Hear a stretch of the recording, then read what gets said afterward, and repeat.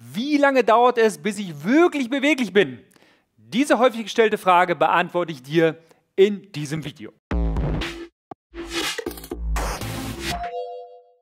Okay, lass uns im ersten Schritt anschauen, warum Beweglichkeit für die Gesundheit deines Körpers so wichtig ist.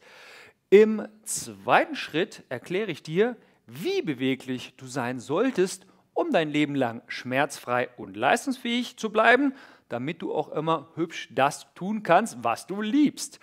Und in Schritt 3 beantworte ich dir die Frage, wie lange es dauert, bis du die gewünschte Beweglichkeit hast, wie du da deutlich schneller hinkommst und wie du sie dann auch mit sehr, sehr geringem Aufwand aufrechterhalten kannst.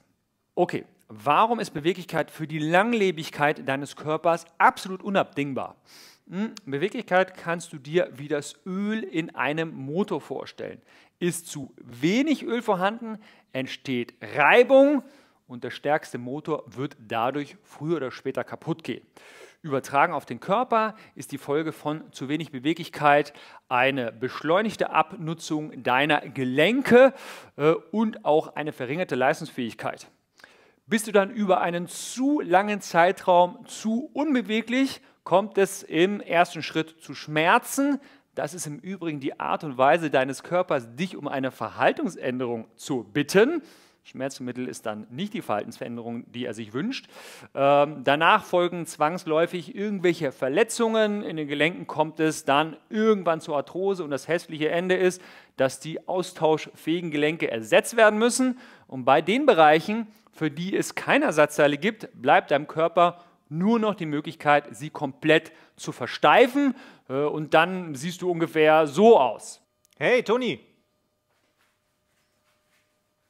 Ja. Ein weiterer negativer Aspekt von Unbeweglichkeit ist, dass deine Gelenke nicht mehr wie vorgesehen arbeiten können. Offensichtliche Beispiele dafür sind X- oder O-Beine, eine Gangart mit ein- oder ausgedrehten Beinen, dem sogenannten Entengang, oder zum Beispiel auf die Körperhaltung übertragenen Rundrücken, ja, beziehungsweise eine schlechte Körperhaltung. Ähm, hierbei haben dann vor allem die Gelenke deiner Brustwirbelsäule die Fähigkeit verloren, in die Rückbeuge zu gehen. Okay, kommen wir jetzt zur Frage, wie beweglich du sein solltest und dies relativ schnell und einfach beantwortet. Ähm, musst du dafür einen Spagat können? Sicher nicht. Ist vielleicht ein nettes Profilbild, ähm, sinnhaft vielleicht für einen Tänzer und für einen Kampfsportler, aber der Otto-Normalverbraucher braucht einen Spagat ganz und gar nicht. Was du brauchst, ist eine ausreichende Beweglichkeit, um eben keine erhöhte Reibung äh, und somit Gelenkabnutzung zu haben. Äh, deine Muskulatur und dein Gewebe dürfen eben keinen negativen Einfluss auf die Mechanik des Körpers, zum Beispiel auf deine Gangart haben oder auf deine Körperhaltung haben. Äh, denn sonst gerät alles aus dem Gleichgewicht und mit jedem Jahr, dass du älter wirst, verspannt sich dein Körper immer mehr. Okay, beantworten wir jetzt die Frage, wie du beweglich wirst und wie lange es wirklich dauert. Ähm, meiner Erfahrung nach ist es so, dass die Strategie, mit der die meisten versuchen, beweglich zu werden, in der Regel wirklich nicht zielführend ist. Das war übrigens bei mir damals auch so. Äh, das heißt, selbst äh, wenn regelmäßig mit hoher Disziplin gedehnt wird, sind die Ergebnisse sehr mager und die Dehnerei wird zu einer echten Lebensaufgabe. Wer aber mit einem intelligenten System ganzheitlich arbeitet, macht sofort, also schon in der ersten Woche, große Fortschritte und kann in, ich sag mal, 12 bis 18 Monaten auf das beschriebene angestrebte Beweglichkeitsniveau kommen. Hierbei spielt die Ausgangsposition natürlich eine gewisse Rolle. Äh, zum einen natürlich das Alter. Wer schon ein bisschen älter ist, wird mehr Geduld brauchen, kann aber auf jeden Fall ans Ziel kommen. Ja, dauert nur ein bisschen länger. Äh, wer aktuell stocksteif ist, wird auch etwas länger brauchen und bereits vorhandene Schäden erfordern auf dem Weg auf jeden Fall etwas mehr Hingabe und auch Geduld. Das Schöne ist, wenn du die Arbeit gemacht hast, bist du irgendwann wieder in Balance und dein Körper kann sich endlich entspannen. Ähm, er muss nichts mehr kompensieren und somit musst du viel weniger dehnen, beziehungsweise kannst mit einem Bruchteil des Aufwandes den du betreiben musstest, um an diesen Punkt zu kommen, dein Beweglichkeitsniveau relativ entspannt aufrechterhalten. Gut, was musst du tun, um so schnell wie möglich beweglich zu werden? Ähm, ein Faktor, den fast jeder außer Acht lässt, ist der Alltag. Du musst dir deine Umweltbedingungen, deine Lebenssituation einfach körperfreundlich gestalten, ja? sonst muss der Körper das ja die ganze Zeit kompensieren und geht auf Schutzspannung. Ja? Äh, zwei Faktoren, die wir hier immer wieder benennen, ist zum einen das lange, starre Sitzen auf herkömmlichen Stühlen. Ja? was ja nachweislich ungesund ist. Studien gibt es genug.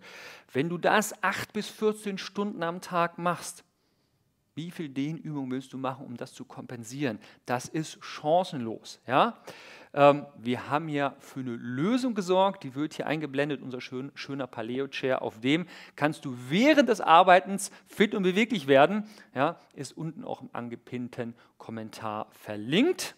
Und der zweite große Faktor sind Schuhe. Die herkömmlichen Schuhe, die 99 Prozent der Menschen da draußen tragen, sind einfach für die Füße ungesund. Ja? Die laufen vorne spitz zu. Das hat nur modische Gründe. Der Fuß will aber Platz haben vorne. Also die sind in der Länge okay, aber in der Breite nicht okay. Die sind hinten höher als vorne. Ja? Ähm, herkömmliche Sportschuhe sind vorne hochgebogen. Ja? Das ist alles Mist für den Fuß. Und wozu führt das?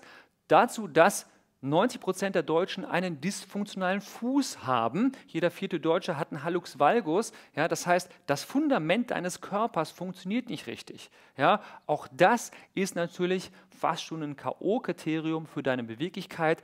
Das musst du also unbedingt auch in Ordnung bringen. Auch da gibt es eine wunderbare Lösung hier aus dem Ländle aus Ludwigsburg. Die schönen Schuhe von Joe Nimble. Äh, Link und äh, Rabattcode findest du auch unten im angepinnten Kommentar. So, und jetzt kommt noch ein Aspekt, der beim Thema Beweglichkeit sträflicherweise immer wieder vergessen wird.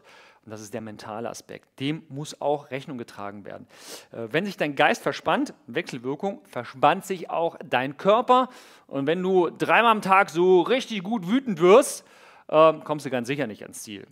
Hm? Das heißt, du musst auch lernen, wie du, egal in welcher Lebenssituation, deinen inneren Frieden bewahrst. Ja, und an der Stelle empfehlen wir von Herzen das Inner Engineering von Sadhguru. Äh, es gibt es äh, mittlerweile auch in einer schönen deutschen Übersetzung und äh, den Link dazu pinnen wir auch unten an. Okay, und was solltest du noch unbedingt machen, um schnell ans Ziel zu kommen? Lass dir bitte helfen. Wenn du auf fremdem Terrain unterwegs bist, ist es einfach weise, mit einem Navi zu fahren. Du musst zwar noch selber fahren, aber du kennst es. Wenn man hübsch macht, was die Stimme sagt kommt man schnell und sicher ans Ziel. Und dieses Navi in Richtung Beweglichkeit äh, kann für dich unser Online-Trainingssystem hin zu einem nicht nur beweglichen, sondern auch lebenslang schmerzfreien und starken Körper sein. Und deshalb haben wir das auch unten im angepinnten Kommentar verlinkt. Und jetzt stelle ich dir noch eine finale Frage. Willst du warten, bis das Leben dich beißt oder willst du schon vorher loslaufen?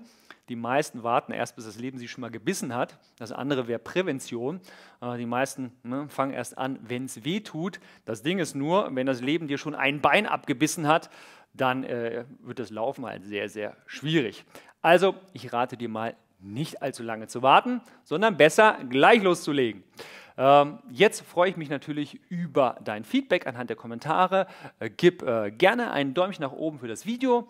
Ich bin an dieser Stelle wieder raus. Bis zum nächsten Mal. Ciao.